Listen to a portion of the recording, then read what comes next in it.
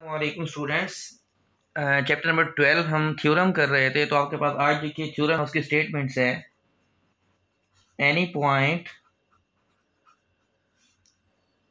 on the bisector of angle on bisector of an angle is equidistant from its arms ये आपके पास आज का theorem है, जिसकी स्टेटमेंट है कि अगर आपके पास क्या होगा, कोई पॉइंट आप लें, जो आपके पास क्या करेगा मतलब किस पर हमने पॉइंट लेना है, उस पर लेना है कि जो आपके पास क्या होगा एंगल को बाइसेक्ट करेगा। Any point on the bisector of an angle is equi distance from its arms कि उस लाइन के ऊपर जो क्या करेगा बाइसेक्टर बाइसेक्ट करेगा एंगल को, उस पॉइंट्स उस लाइन पर कहीं भी हम पॉइंट ले लें, उसका फासला आर्म से क्या होगा, बराबर होगा। तो सबसे पहले आपके पास डायग्राम की तरफ़ चलते हैं। सबसे पहले आपके पास है गिवन गिवन में आपके पास है कि एक आपके पास एंगल है, वो आपके पास है A B C is an angle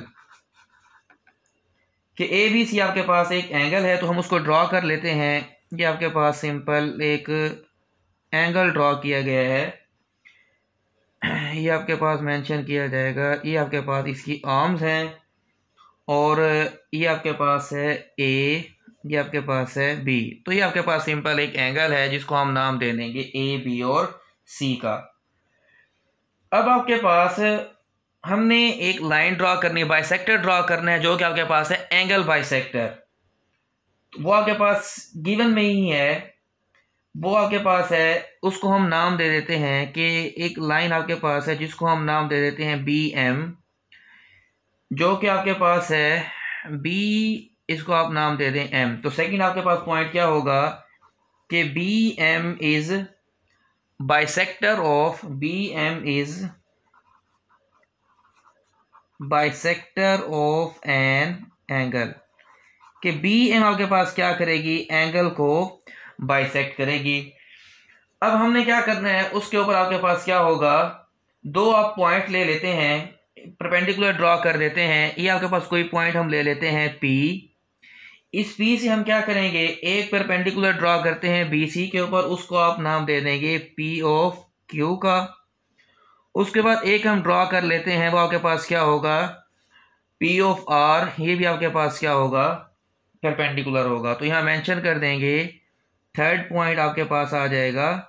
P या क्यू परपेंडिकुलर टू आप इसको आप नाम दे देंगे, ये आपके पास है क्यू ये आपके पास है आर अब पी क्यू आपके पास किस पर परपेंडिकुलर है? बी ऑफ़ सी आर्म पर। और आपके पास जो नंबर फोर हम लिखेंगे, वो आपके पास क्या आएगा?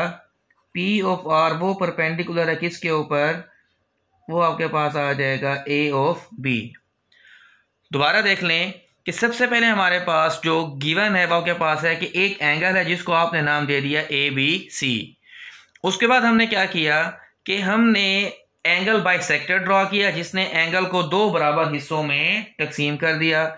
इसको आप नाम देंगे एंगल वन या आपके पास क्या होगा? एंगल टू उसके बाद हमारे पास हमने इस बाइसेक्टर जो एंगल बाइसेक्टर था, उसके ऊपर हम कोई एक पॉइंट ले लें। हमने प्रूव यही करना है कि कोई आप पॉइंट ले लें, उसका फासला आपके पास जो आर्म्स हैं, उससे क्या होगा? बराबर होगा।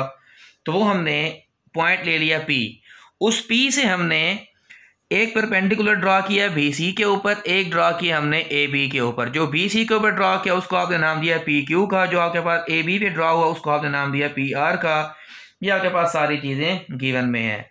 नाउ हमने प्रूव क्या करना है? प्रूव हमने ये करना है कि जो हमने परपेंडिकुलर ड्रॉ किए हैं, वो आपके पास क्या होंगे? इक्वल होंगे तो आपके पास क्या आएगा? P of Q is equal आपके पास क्या आएगा? पी ऑफ़ आर अब हम चलते हैं इसके प्रूफ की तरफ़ तो आपके पास आ जाएँगे स्टेटमेंट और रीज़न बहुत ही आसान आपके पास थ्योरम है।